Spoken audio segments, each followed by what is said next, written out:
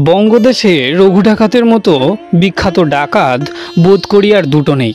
ছোটবেলায় ভয় দেখানোর গল্প থেকে শুরু করে মানুষের মনে রঘু ডাকাতের গল্পগুলো এতই বেশি জায়গা দখল করে আছে যে রঘু ডাকাত বাঙালির কৃষ্টির সাথে মিশে গেছে। প্রকৃতপক্ষে রঘু ডাকাত সম্পর্কিত গল্প এত বেশি যে সেখান থেকে আসল গল্পের খোঁজ পাওয়া বেশ কষ্টসাধ্য। অধিকাংশ গবেষকদের তথ্যমতে, রঘু ডাকাত জন্মেছিলেন প্রায় দুশো বছর আগে, অর্থাৎ অষ্টদশ শতাব্দীর কোনো এক সময়। তার ভালো নাম ছিল রঘু ঘোষ। সেই সময় বাংলাসহ ভারতবর্ষের বিভিন্ন স্থানে চলছিল কোম্পানির শাসন। বাংলায় ধনী ফসলি জমিতে তখন ইংরেজদের নীল চাষের পায়তারা চলছে। প্রথমে পাঁচ কাটা তারপর দশ কাটা এইভাবেই দিন দিন নীল চাষের বোঝা চাপিয়ে দেওয়া হচ্ছিল বাংলায় কৃষকদের ওপর। যারা কোম্পানির নির্ধারিত জমিতে নীল চাষের আপত্তি জানাতো, তাদের পেয়াদা দিয়ে তুলে এনে চলত বেদম প্রহার। নীলকর ও তার পেয়াদাদের অত্যাচারে নাভিশ্বাস হয়ে উঠেছিল সাধারণ বাঙালি কৃষকদের। রঘু ঘোষের বাবা ছিলেন এমনই একজন সাধারণ কৃষক। তিনি নীল চাষের আপত্তি জানানোয় নীলকরের পেয়াদারা এক রাতে তাকে তুলে নিয়ে যায়। পেয়াদার প্রহারে অসহায়ভাবে মারা যান তার বাবা। পিতার মৃত্যুর বদলা নিতে মরিয়া হয়ে ওঠেন রঘু ঘোষ। লাঠি খেলায় তার ছিল অসামান্য দক্ষতা। সেই খেলার লাঠি তার কাছে হয়ে ওঠে নীলকর বধের অস্ত্র। আর সেই অস্ত্র তিনি নিজের হাতেই তুলে নেন। আর সেই সাথে অত্যাচারী আরও মানুষদের সংগঠিত করেন। গড়ে ওঠে এক লাঠিয়াল বাহিনী। নীলকরদের অত্যাচারের বিরুদ্ধে রুখে দাঁড়ান রঘু ঘোষের এই বাহিনী। দলবল নিয়ে নীলকুঠিগুলোতে লুটপাট চালান রঘু ঘোষ। এরপর জ্বালিয়ে দেন নীলকরদের আস্তানা। ধীরে ধীরে এলাকায় অত্যাচারী জমিদার আর সমান্তদের ঘরবাড়ি লুটপাট শুরু করেন। যারাই সাধারণ মানুষের সম্পদ কুক্ষিগত করে, তাদের বাড়িতেই হানা দেয় রঘু ঘোষের দল। লুটপাটের পর লুটের জিনিসপত্র ভাগ করে দেন ক্ষতিগ্রস্ত কৃষকদের মাঝে। ফলে সাধারণ মানুষের কাছে রঘু ঘোষ ছিলেন একসাথে প্রতিবাদ আর ন্যায় বিচারের প্রতীক। তবে জমিদার আর নীলকরদের কাছে তিনি ছিলেন লুটত রাজকারী এক ডাকাত। পিতার মৃত্যুর সেই ঘটনা একজন সাধারণ মানুষ থেকে রঘু ঘোষকে করে তোলে রঘু ডাকাত। রঘু ডাকাতের বাড়ি ঠিক কোথায় ছিল? এই প্রশ্নের জবাবে ঐতিহাসিকদের একটু দ্বিধাম্বিত হতে হয়।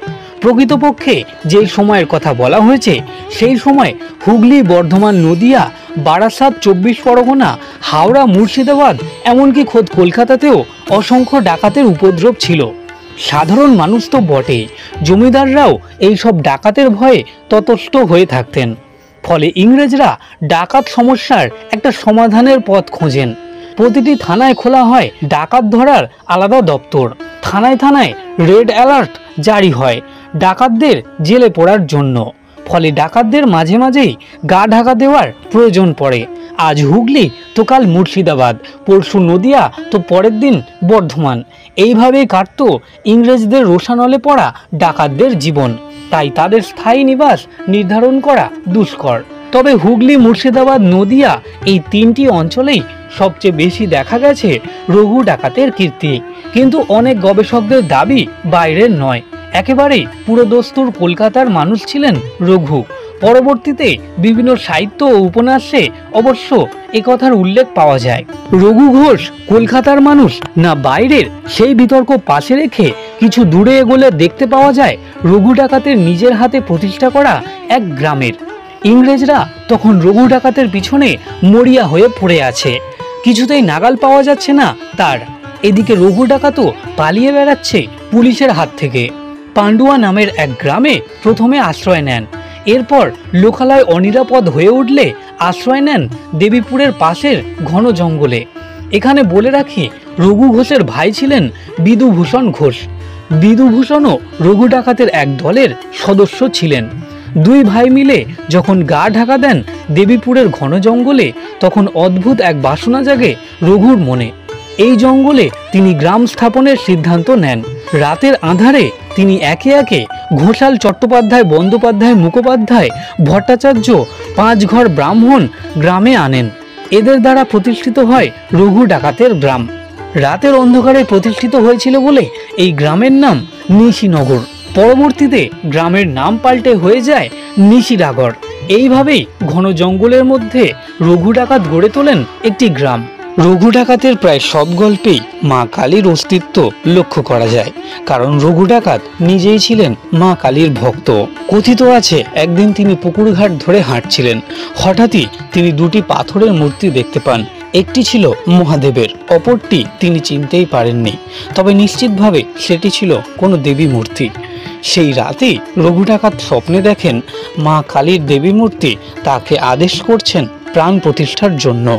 কাল বিলম্ব না করে সেই মূর্তিতে প্রাণ প্রতিষ্ঠা করেন রঘু ঘোষ। এরপর থেকেই ভক্ত হয়ে যান মা কালীর। জানা যায়, অমীয় শক্তির দেবী কালীর পূজা করতেন নিয়মিত। পুজোর ভোগ হিসেবে থাকতো ল্যাঠা মাছ পোড়া। সেই মহাভোগ খেয়ে ডাকাতির জন্য বেরোতেন রঘু ডাকাত। পশ্চিমবঙ্গের অনেক স্থানেই এখন কালী পূজার ভোগ হিসেবে ল্যাঠা মাছ পোড়া খাওয়ানো হয়। দিনকে দিন বাড়তে থাকে রঘু ডাকাতের শক্তি। তিনি রীতিমতোই ছেলে খেলা শুরু করেন অত্যাচারী জমিদারদের বিরুদ্ধে। একসময় ডাকাতির পর্বে তিনি জমিদারদের চিঠি দিতেন যে সেদিন তার বাড়ি লুট হতে চলেছে। রীতিমতোই বলে কয়ে ডাকাতি আর কি। রঘু ডাকাতের এই দুঃসাহসের পেছনেও ছিল মা কালীর অবদান। রঘু ডাকাত বিশ্বাস করতেন, পুজো দিয়ে ডাকাতি করতে গেলে কখনোই ধরা পড়বেন না তিনি।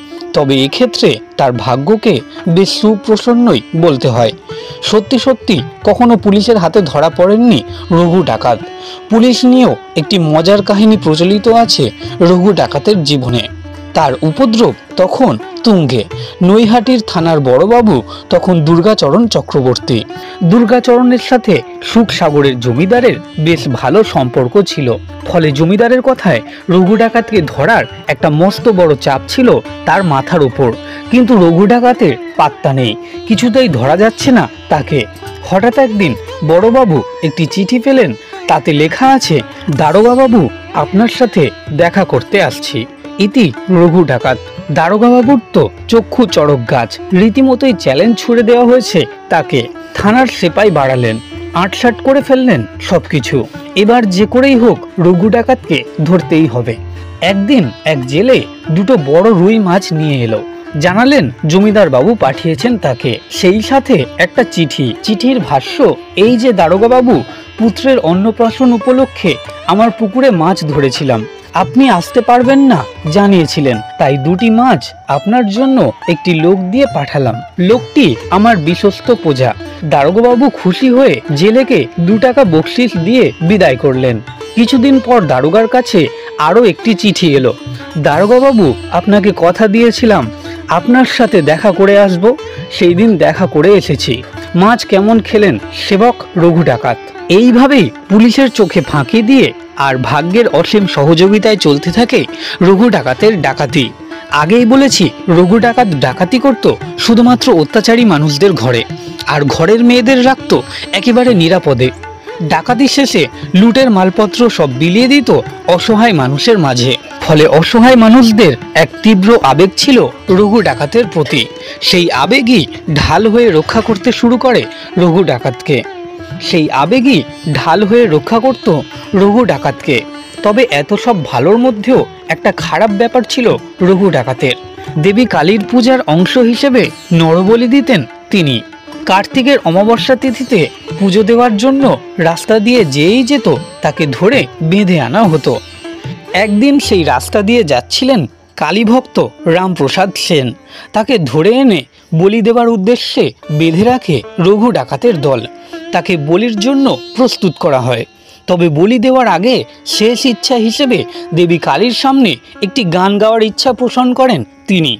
রঘু ডাকাত অনুমতি দিলে রামপ্রসাদ তিলেক দ্বার ওরে সমন বদন ভরে মাকে ডাকি গানটি গেয়ে শোনান। এমন সময় রঘু ডাকাত বলি কাঠে রামপ্রসাদের বদলে দেবী কালীকে দেখতে পান।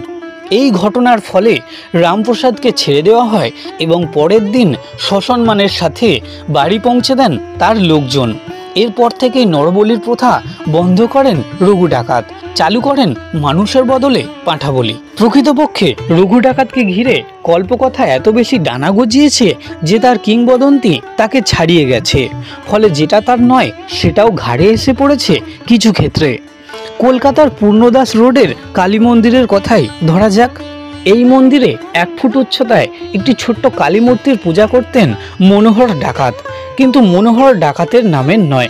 লোক সেটাকে চেনে রঘু ডাকাতের কালীবাড়ি বলে। এই রকমই আরও অসংখ্য রঘু ডাকাতের কালী মন্দির আছে বর্ধমান, মুর্শিদাবাদ, বীরভূম আর হুগলি জেলায়। এই সবের প্রতিষ্ঠা অন্য কেউ হলেও লোক এগুলোকে চেনে রঘু ডাকাতের কালী মন্দির নামে। এই সবের কিছু কিছু মন্দির আবার পাঁচশো বছরের পুরনো।